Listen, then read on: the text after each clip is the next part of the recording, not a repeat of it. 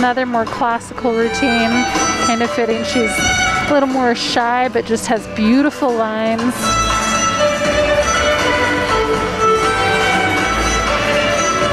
She'll get set up here for her first pass.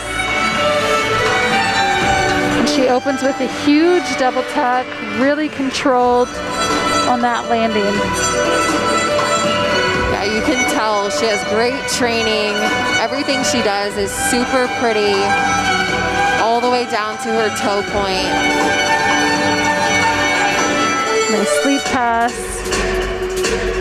She'll get ready to go here for her second pass. Just taking a little breather before they set up.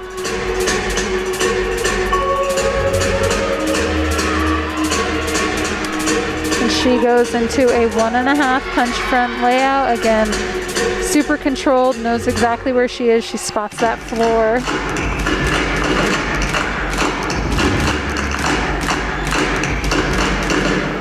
I like to see a little smile from her. You can see she's having fun with it. Not as expressive as the other girls, but in her own way. See her teammates cheering her on for this last pass. She finishes with a double pike. Very pretty. Her chest was down on that landing, but still lots of power and just a little bit of room for improvement.